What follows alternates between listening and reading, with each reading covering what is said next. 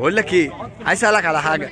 إيه سر تمسك الزمالك باللبس بالتيشيرت الأزرق النهارده؟ عشان بيخوف خافوا منه بيخوف بس الاهلي هو هو بس يعني بيه يعني كلمه أكتر. كده. عايز تخوف واحد أهلاوي. يلبس له أزرق كلنا بس. موفقين. البس أزرق بس.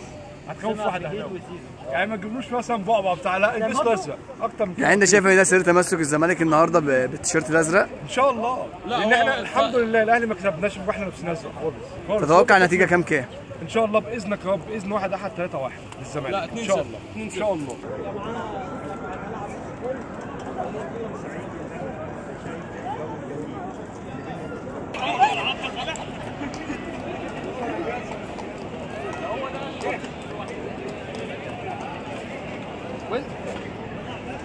عايز أقول لك